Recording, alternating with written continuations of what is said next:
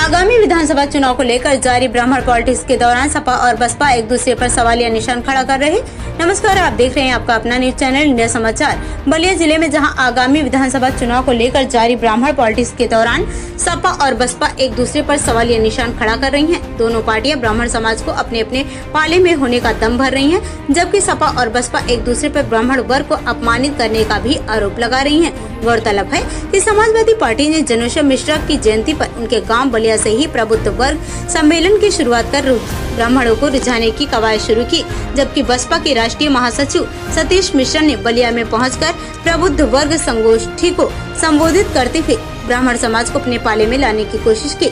लेकिन दोनों पार्टियों की इस सियासी कवायद के दौरान अब दोनों पार्टियों के नेता अपनी अपनी पार्टियों को ब्राह्मण का सबसे बड़ा हिमायती होने का दावा करने में जुटी हुई हैं। साथ ही साथ दोनों पार्टियों के नेता एक दूसरे की कार्यक्रमों में कमियाँ निकालने में लगे हुए हैं। सपा के नेताओं का दावा है कि बसपा के प्रबुद्ध वर्ग संगोष्ठी में ब्राह्मण वर्ग नदारत रहा, जबकि बसपा नेताओं का जवाब है कि कहा कि बसपा को ब्राह्मण वर्ग का भरपूर समर्थन मिल रहा है। ये थे हमारे संवाददाता इंडिया समाचार के लिए। आनंद मोहन मिश्रा, ब्यूरो चीफ बलिया की खास रिपोर्ट।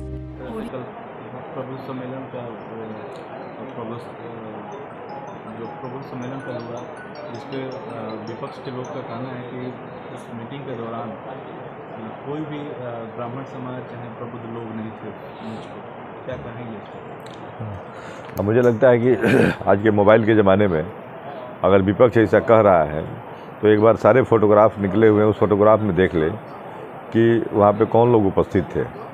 बहुजन समाज पार्टी के जो हमारे बेस वर्कर हैं अगर उनकी मीटिंग बुला दी जाए तो फिर उतने छोटे ग्राउंड में नहीं हो सकता है। वहाँ पे केवल प्रबुद्ध वर्ग के लोगों को ही बुलाया गया था और प्रबुद्ध वर्ग के लोग भी वहाँ पहुँचे थे। हालाँकि ये ज़रूर था कि बहुत लोग अभी कहीं ना कहीं किसी कारण कारणवश इधर उधर फंसे रह गए क्योंकि ये प्रोग्राम अ, मतलब जैसे बलिया सदर के अलावा चूँकि काफ़ी दूर दूर से जिससे जिनको जाना था वो लोग नहीं पहुँच पाए थे। उसके बाद भी उतनी गैदरिंग थी। तो अब ये विपक्ष भले बौखला रहा है लेकिन प्रबुद्ध वर्ग पूरी तरह से बहुजन समाज पार्टी के साथ आ चुका है।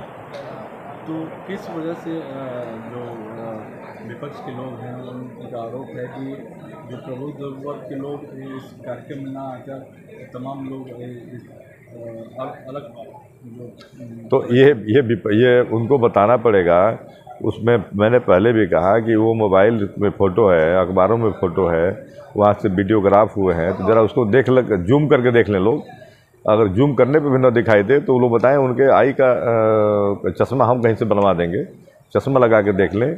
और पिछली बार दो दो हज़ार सात में जिस तरह से बहुजन समाज पार्टी के साथ प्रबुद्ध वर्ग आया था, उसी तरह से फिर इस बार प्रबुद्ध वर्ग ने मन बना दिया है। और उसी की देन है आप अभी उसी की देन है कि पूरे उत्तर प्रदेश में भाजपा जो है, भाजपा उस चीज़ को समझ रही है। अब वो सबसे ज़्यादा बौखलाहट में भाजपा हो गई है। सपा तो चूँकि अब कहीं रही नहीं तो भाजपा चूँकि अब देखिए, लगातार अपने ब्राह्मण नेताओं को आगे कर रही है, उनको किसी को मंत्री बनाने जा रही है, किसी को प्रभारी बना रही है किसी को कुछ कर रही है। इसलिए मैं कहा कि अब वो चीज़ें, सब चीज़ों से अब बहुत आगे आ चुका है। से बीएसपी कल ब्राह्मण सम्मेलन की थी, जिसमें ज़्यादातर देखा गया कि अदर जाति के लोग मंच पे थे, लेकिन ब्राह्मण नहीं दिखाई दे रहे तो क्या कहेंगे इस पर प्रबुद्ध वर्ग सम्मेलन किसी विशेष जात का नहीं होता है, लेकिन जो संदेश देने के लिए